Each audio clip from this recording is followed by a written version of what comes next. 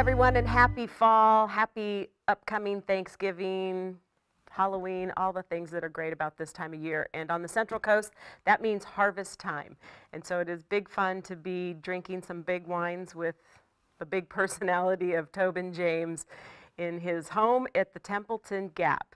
You are lucky in the mixed shipment to get your Silver Reserve Cabernet. This is a beautiful wine and one you're really proud of. Yeah, definitely. Um, we uh, the the the Cabernet Cabernet is still king in Paso Robles. You hear a lot about Zinfandel and some of the Rhone varietals, but Cabernet is still king in Paso Robles. Uh, lots of um, wineries, even from Napa, buy our grapes here.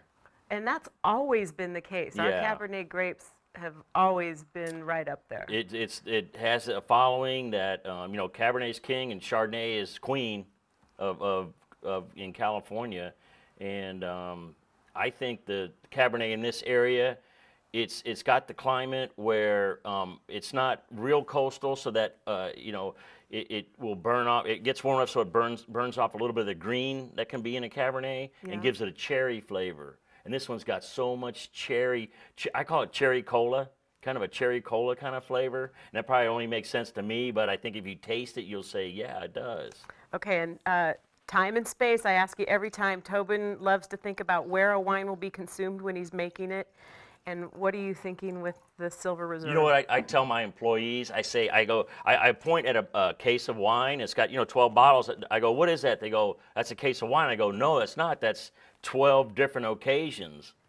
Unless, of course, you drink it in one night. But, but uh, th- this one, this is, it's dark outside. You got the grill fired up. It's, I hate to say it. I mean, uh, it's a manly kind of wine. It's very Yeah. manly kind of wine. But I mean, the ladies like it also. But it just, uh, you know, it's a wine you want to have with a, a table full of food. Yeah. And just Whether in- that's steak or turkey or yeah, whatever. yeah, anything. Meat friendly, A lot, definitely. you know, a lot of times this wine is you could have all the food out there, but a lot of people just want to taste the wine. Yeah. I mean, that's the focal point for them. But So this is such a good wine. I think the point is, yeah, you want to make it food friendly and enjoy it with food, but you might want to have a half a glass just by itself so you can oh really yeah, appreciate the that's flavor. Beautiful. Mm. Nice and soft, and uh, not not real heavy in tannin, so it's easy to drink, but it's got enough uh, grit to it that it gets your attention and stands up to any food you have. You know, when you said cherry in a in a Cabernet, I kind of I balked know, a little bit, I- but you're right. You got cherry in a big wine. Sometimes it might not taste like cherry, but it makes sense somehow. I don't know, but Well, nicely done once again. yes, thank you. Happy Thanksgiving.